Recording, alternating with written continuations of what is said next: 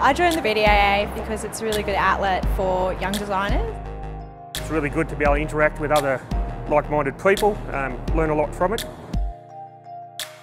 For me to come to this conference this weekend, uh, first time round, I'm enthusiastic about the people that are here um, expressing their thoughts about our actual industry.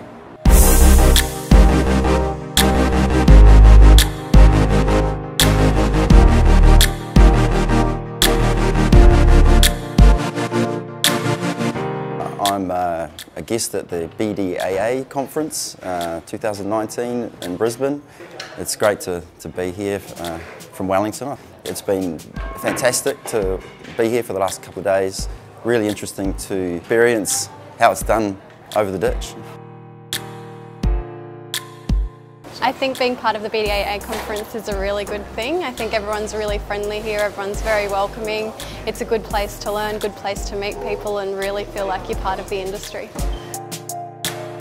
We've got a vast array of fantastic partners of the BDAA and that's probably one of the other things that's encouraged me to come along uh, and join that with the extra knowledge that's coming through.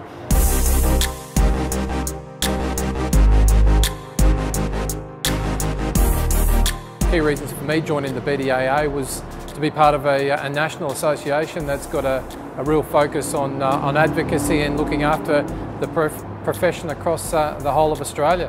I've got a lot of value personally out of um, not just the presentations but just being able to mingle with people and, and talk about how they operate uh, day to day. Uh, but I found that the BDAA much more like a family uh, more hands-on and more educational and an approach that is understandable for someone who's still learning.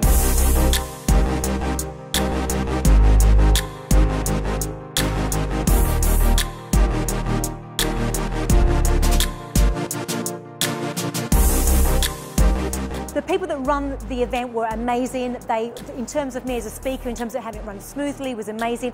Everyone was excited to be there. To watch all those members there come in smiling, they come in, they were pumped up, they're engaged, they were clearly getting value. It was a pure joy to see them so involved in getting value. So if you're, I think, learning, a student, or any part of the construction industry and you want to learn more or be involved with a really supportive community, I'd recommend the BDAA.